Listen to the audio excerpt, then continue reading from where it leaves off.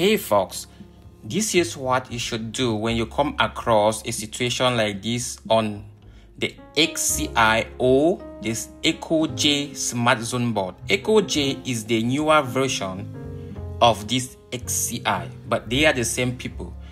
When you look at the board, you see that it is di displaying a C4 code and is making that noise from the board even to the condensing unit outside.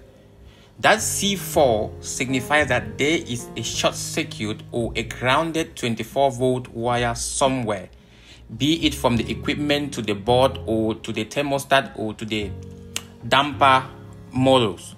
So what you need to do is that take out the red wire that comes from the equipment to the board, take it out.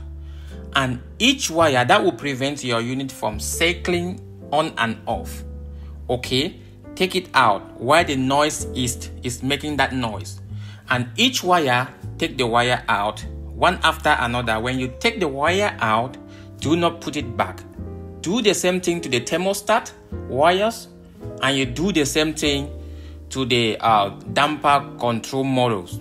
But keep the 24 volt wire going to uh, the, the, con- the, the, the control board intact. Do the same if you have the sensor, right? But keep the control board, the zone control board powered by the 24 volt. So at the end of the day, if you remove all these wires and the noise doesn't stop, know that the issue is the board itself. Okay, you got to replace the board, that zone control board if at the end of the day nothing happened but if at any instant you remove a wire and that noise stop trace that wire to the component be it the motor or the thermostat the thermostat could be grounded or anything and you replace that wire. That means that motor or whatever is grounded and is short circuiting the unit will not run. It will keep cycling on and off.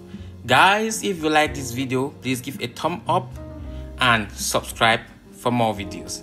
Thank you so much. Bye bye.